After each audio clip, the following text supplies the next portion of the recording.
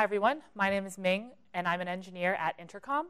Um, today, I'm going to be talking about my experience learning Ember and becoming a software engineer, um, and what I think are the most important concepts for a beginner to internalize. So, um, before I start, a little bit of background about myself. Um, I'm fairly new to working in tech. Um, I've been in tech for about two years, but I'm even newer to software development. In fact, um, I think it was nearly a year ago to the date when I made my first commit to Intercom's Ember repo.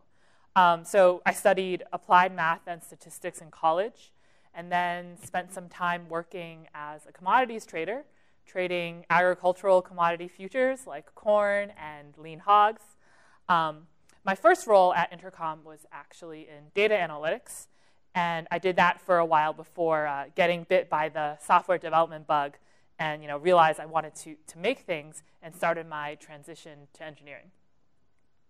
Um, so this is all you know, just to say that I had a lot to learn in a really short amount of time. Um, you know, previous to this, I had no experience building stuff on the web, um, and Intercom had a very generalist engineering culture. So most of our engineers worked across the stack. Um, you know, it was also quite a big team. Uh, we have around 230 employees with around an engineering team of 70 people, and also a, quite a complicated product. Um, you know, there was like four different products within the larger Intercom platform, and they all kind of interact with each other in different ways. So, uh, you know, I wasn't stepping into this, you know, really simple, easy code base. And at the time when I was making my own transition, um, Intercom itself was also undergoing a change because they were transitioning from using Rails on the front end to using Ember. So I too was caught in this wave where I had to learn about software engineering principles and web development and Rails and Ember all at the same time. Um, so from having just gone through this journey myself, um, hopefully this talk can help others who are just starting their own Ember journey, as well as give some ideas to people who are probably more experienced, who are now mentoring, or teaching others. I want to talk about three steps um, that you need to take to successfully make such a transition from a non-engineer to a Ember product engineer. So the first thing that I think you have to do is learn how to embrace frameworks. Um, when I started this whole process, uh, I, I, knew, I knew how to program. Um, I had had experience thinking algorithmically, I knew what an if statement was. I knew what a while loop was. But um, you know, at the time, I really only had experience writing really small ad hoc scripts to analyze data or to make data visualizations. Um, and you know, while these line by line imperative programs you know, can teach you a lot about programming and from there using more advanced patterns like functional programming or object-oriented programming allows you to do more complex things like build checkers, if you actually want to make something, if you, if you actually want to make a product without having to make loads and loads of decisions, you know, sooner or later, you're going to have to turn to a framework. And you know, that's because ambitious applications require structure. As you add on more developers and add on more complexity, um, having constraints and a standardized set of opinions really simplifies the development process. And actually, one of the main reasons at Intercom, um, you know, the main reasons why we switched from using Rails to using Ember was, be, be, was because we were sick of having every developer bring to the front end their own independent ideas of how to build things there. But um, to be effective uh, within a framework, you know, like Ember, you have to learn what the Ember way of doing something is. Um, you know, you have to learn what its opinions are, what its quirks are. And uh, I remember in my really early days of learning Ember, um, I was working with this, I was writing some code where I was writing a computed property that was dependent on um, how, many, how long an array was, how many elements was in this array. And so here's kind of like a simplified version of that example. Um, so I have an array called invoice IDs and a computed property called number of invoices that just got the length of that array. And somewhere else in my code, I was pushing elements onto uh, the invoice IDs array. And I remember spending like a really long time just trying to figure out, you know, why wasn't my computed property updating?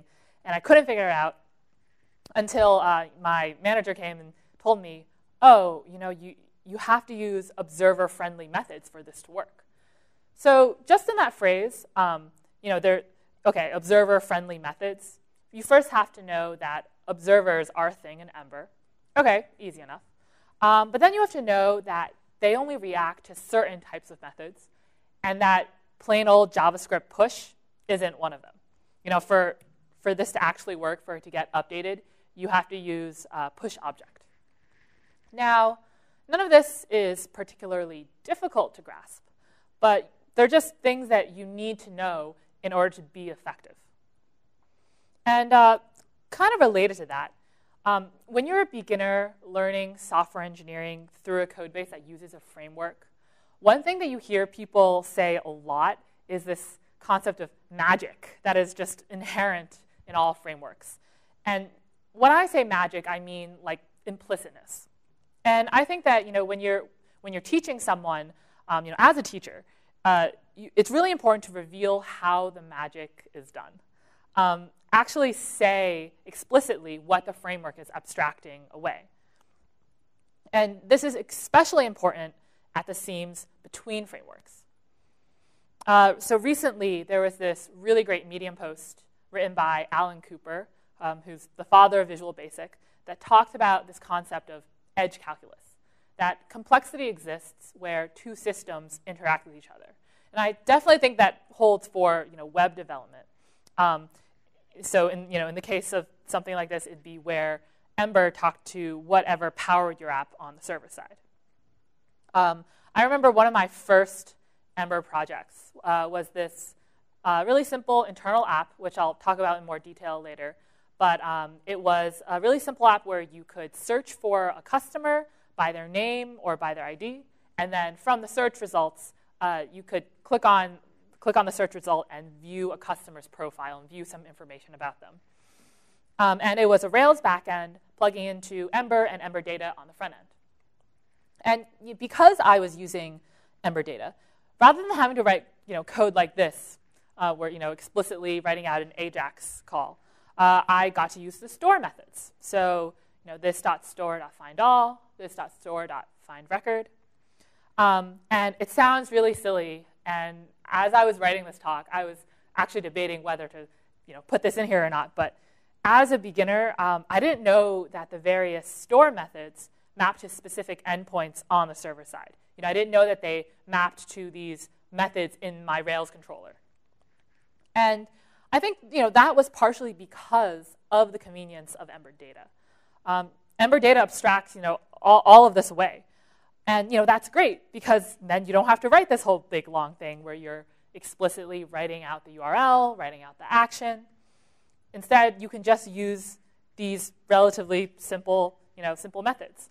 But then what happens is that it's, it, it's less clear, the interactions between Ember and what's happening on the server side. So I guess the takeaway lesson from all of this is, you know, even if your code isn't being explicit, your understanding of it has to be. Um, the second thing I want to talk about um, that I think the second step that you have to uh, learn and internalize is learning how to navigate the component hierarchy. So I think the existence of components in Ember um, is really good for beginners because it reinforces a lot of general good engineering practices like modularity and reusability, especially in an app's presentation layer, which is an area that can get pretty messy pretty quickly. But I think working with components takes a little bit of getting used to as well, especially if you're working in a large app. Um, you know, following call stacks is definitely a little bit of a learned skill. Um, and I think this is because the number of components that an app can have can get very large very quickly. So just to, uh, to kind of illustrate that, I have here a screenshot on the left um, taken from uh, Intercom. Um, this is part of uh, the message composition flow in Intercom. It's the UI that you see when you're selecting who to send your message to.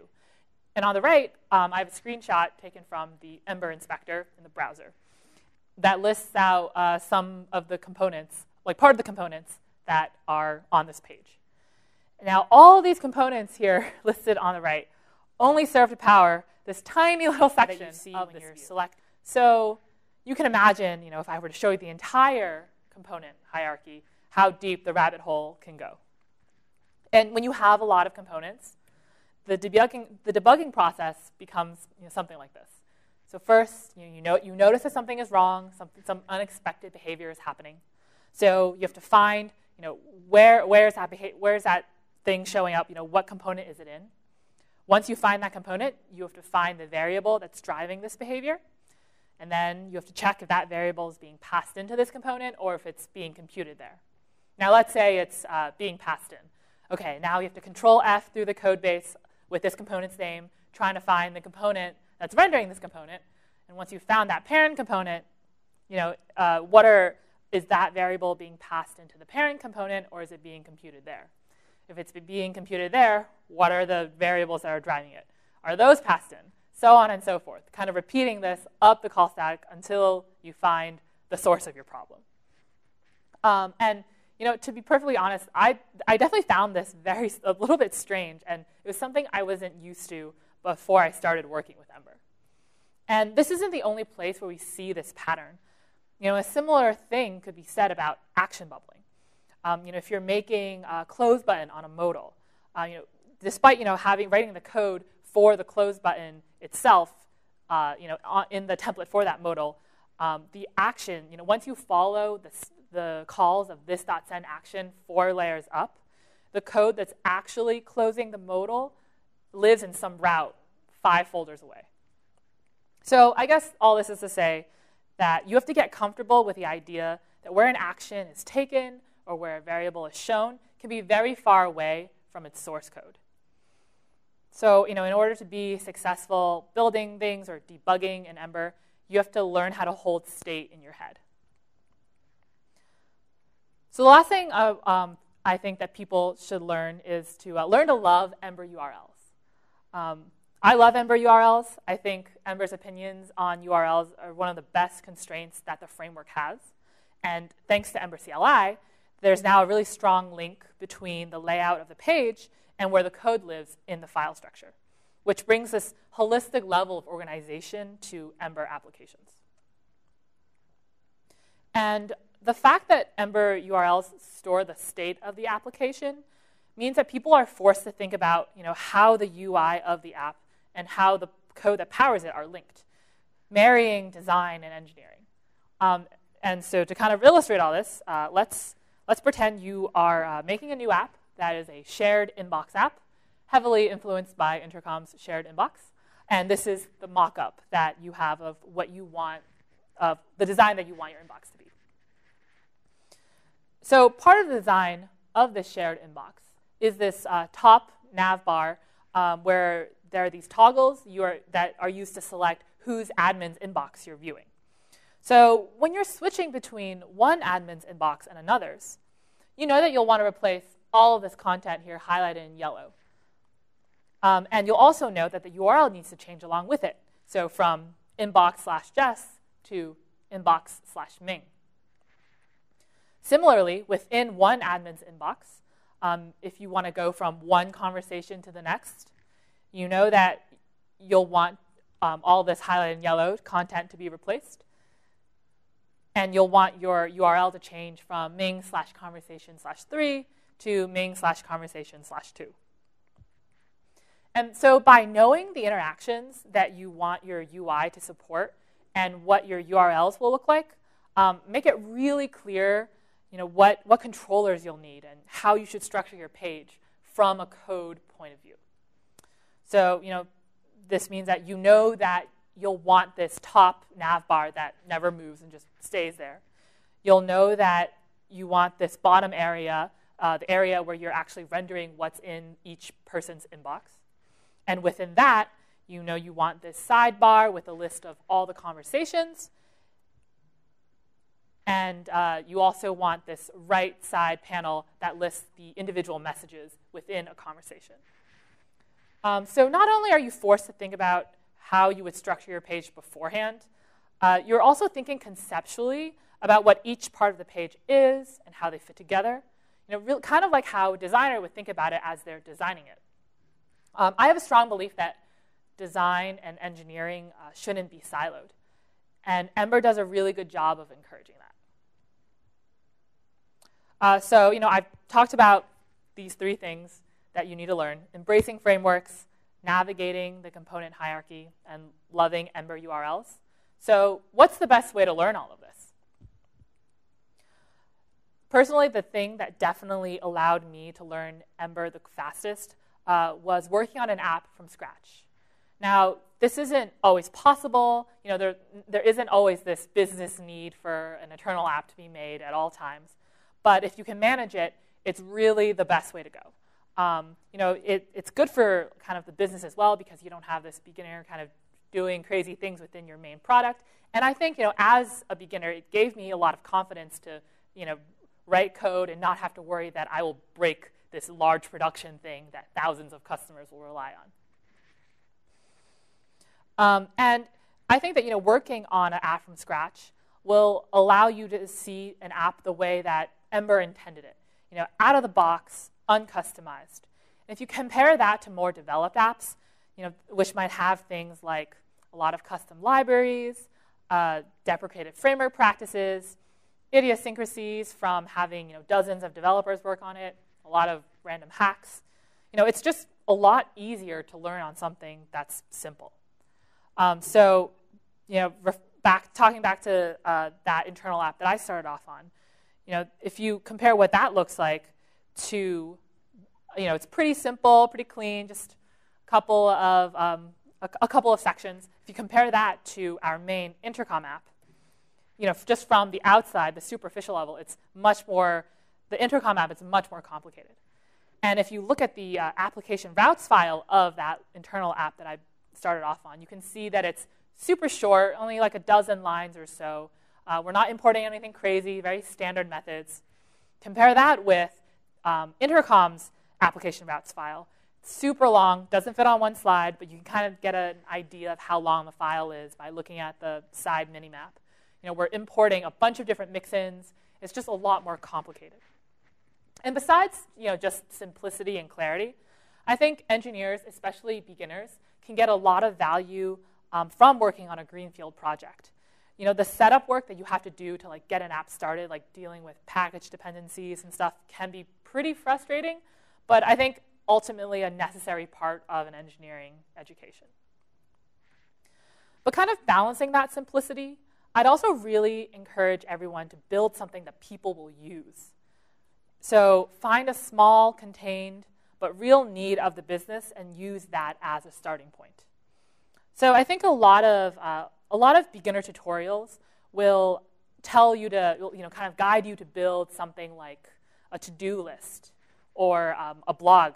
But you know, while those do have the benefit of being very simple, um, I think there's a lot of value in building something for you know, real users, building an app for real users and not just this hypothetical app that no one will actually use.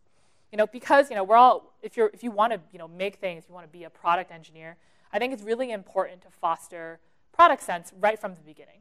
And when I say product sense, I mean things like uh, being empathetic to your users, um, thinking about how they'll interact with your product. You know, what features do you have to have and what features can you cut out? you know, technical versus design trade-offs. Um, because at the end of the day, you're learning Ember not for the sake of learning it, but as a tool to make something. Thank you. Um, and if you have any questions, feel free to tweet at me or email me.